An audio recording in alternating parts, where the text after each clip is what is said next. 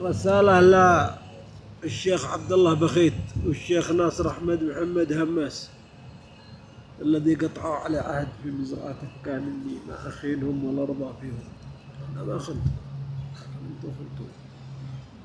أنا أوفيت معكم ودافعت عنكم في وجه الحوثي وسألهم أنت يا حوثي بين من الذي يقول لك أن الإسلام أنهم دي ورا هذا؟ هذا خاين ومن طرف الأحوال. الإسلام ما لهم يد في التعامل ولا معهم مصالح في السلطة. المصالح مع الزن والمجوسي لها. لكن أنتم خنتوا. وبقول لك كيف.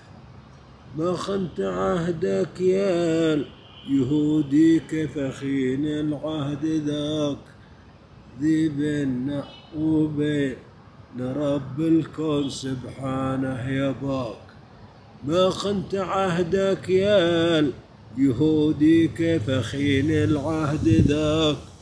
ذي بيننا وبين رب الكون سبحانه يباك. يباك يا بخيت انتو ناصر انتو الزكاة ما بها فضل من أبوكم أنا الملك أبوها تجي على سنة الله.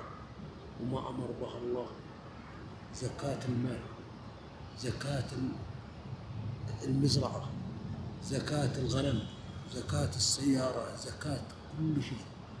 أعرف أنكم في نعمتي بعد نعمة الله سبحانه وتعالى. ولا نادي خير